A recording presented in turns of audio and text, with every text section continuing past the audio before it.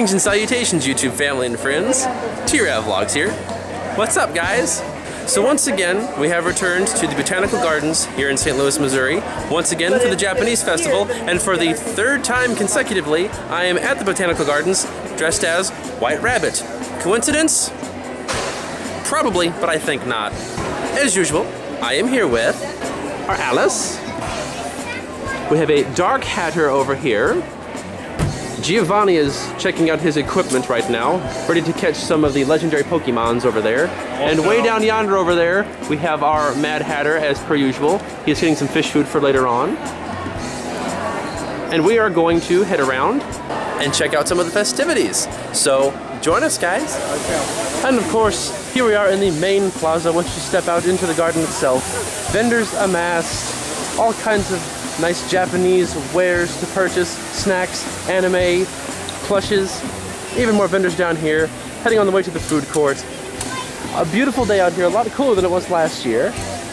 So I think we'd be able to last a little bit longer than we did. Oh, and you see, of course, the magical Pocky sign over here. Usually where there is Pocky, you will find Otaku, so uh, let's go see what they've got. I'll see you guys later. One of the first places we stopped had one of my favorite Japanese treats, melon bread. If you've never had melon bread before, you're in for a treat if you ever happen to find it. It's got a little bit of melon, almost like a lemon glaze on it. It's nice and soft and delicious in here and mmm. Only problem is the glaze gets caught on your teeth a little bit. But it really is good. If you ever get a chance to grab you some melon bread, pick it up. You will not be disappointed. I promise you that.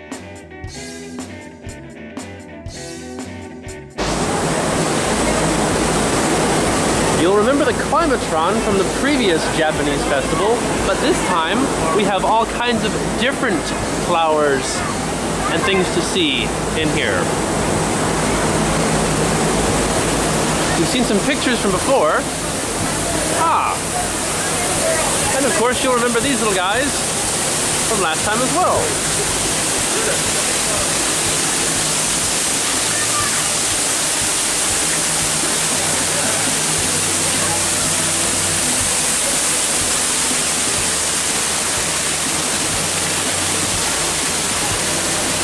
And of course we have the glass garden exhibit as well. Something else that wasn't here the last time. There's some more glass garden sculptures for you.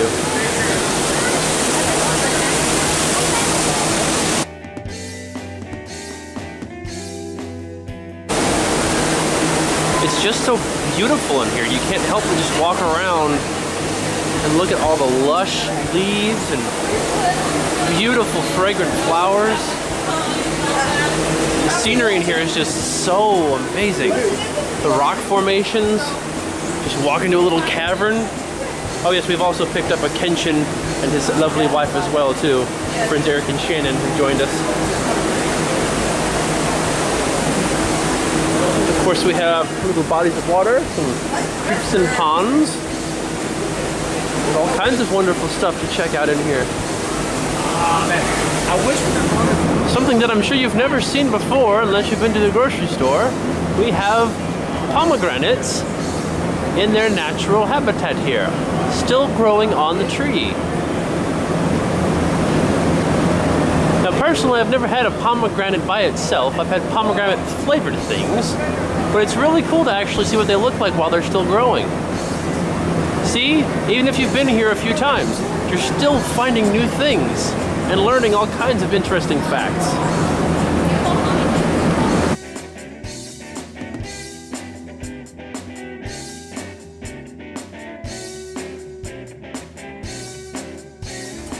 It wasn't until and it wasn't until they started incorporating the rice vinegar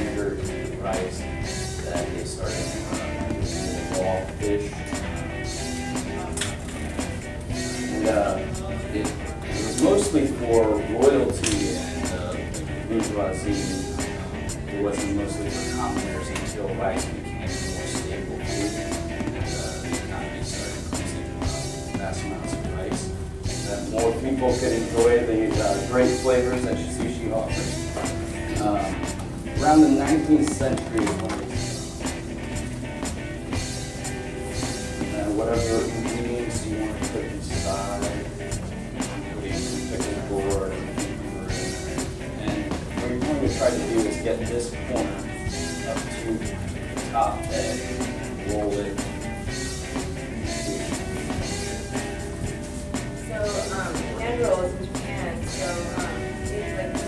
dinner parties and stuff like that, you'll usually have a circle tray and all your like components and everything and seaweed and rice. And then you just sit like that like burgers and so just sit there and make on the table and do it. It's really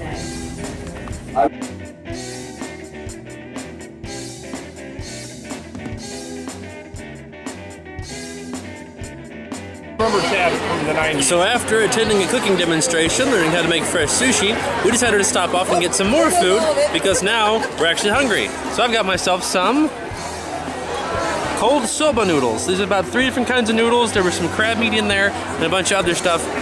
It's really good. I'm not used to cold noodles, but it's really an interesting experience. And I found out there's some stuffed pork buns not too far from here, so you know what I'm getting next. I'll see you when I get one of those. All right. You know it, you love it.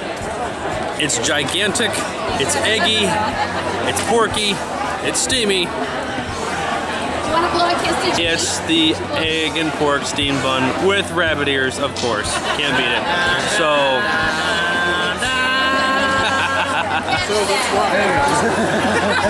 so let's give this guy a bite and see how it goes. Here we go.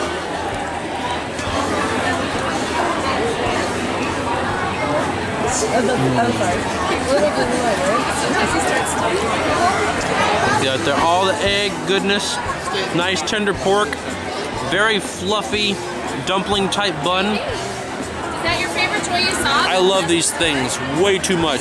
They're probably the worst thing for me, and one of the things I look forward to getting when I come here to the Japanese festival. Again, if it's something you've never had before, you need to remedy that because these things are amazing. Well, let's see what else we can see now that we're out here.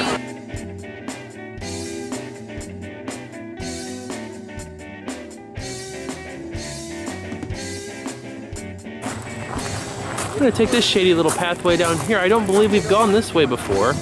It's kind of nice. There's a little uh, gazebo type guy over here.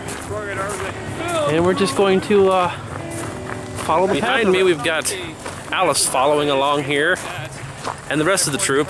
So for the first time, Alice really is following the White Rabbit. How about that?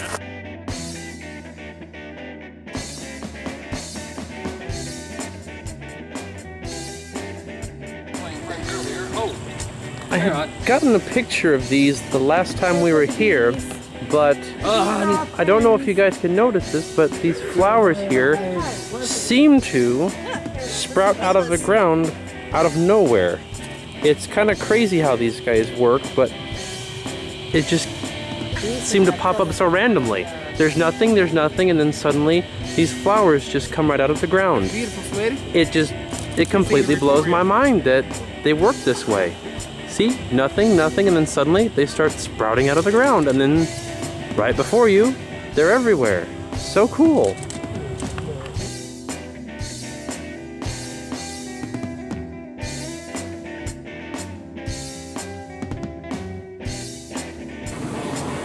While coming down here to the lake by the Japanese gardens, we made ourselves a turtle friend.